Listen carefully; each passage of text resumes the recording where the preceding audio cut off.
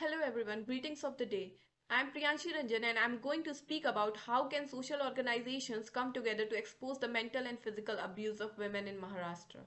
Gender discrimination and violence against women are common in India. Right from the young age, women are made to believe that they are inferior. They are taught to be dependent on male figures in their lives. She is dependent, weak, exploited and faces gender discrimination in every sphere of her life. These ideas of misogyny and patriarchy are so deep rooted that women become indifferent to abuse. Lack of social awareness, fear of social stigma, and lack of education has made thousands of women to suffer in silence. Mahabharata cites violence meted out to Draupadi. Kans killed seven newborn babies of her sister Devaki. In modern societies also, violence against women is a major public health problem affecting women and children. According to the report by National Health and Family Survey, one in every three women in India starting from the age of 15 has faced some sort of domestic or sexual violence. A shocking 49% of women respondents from Maharashtra who participated in the survey approved of domestic violence.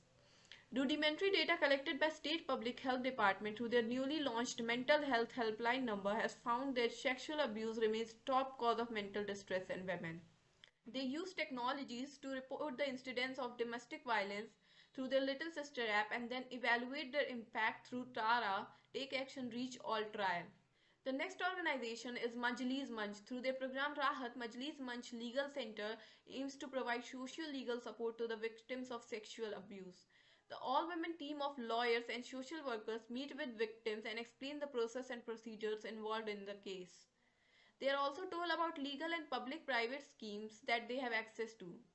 The other organizations are Sayodhya Home for Women in Need, Prajanya Trust, Prerna Samaj, International Foundation for Crime Prevention and Victim Care, etc.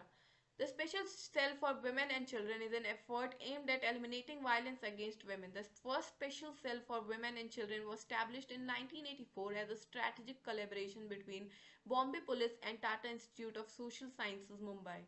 The special Cell's mission is to work towards ensuring that women are recognized as individuals with equal rights and opportunities in the society, including the opportunity to live peacefully, violence-free life.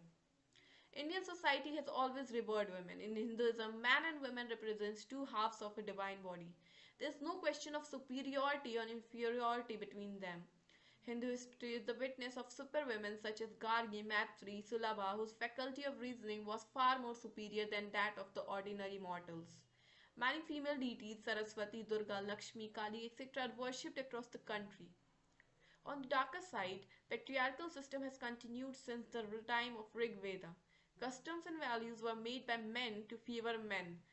Women suffered this discrimination in silence. Domestic violence against women is a serious issue and the one we all need to take seriously. Through these organizations, women get to know about their rights and priorities. Remember, it is never okay for someone to abuse you. Thank you.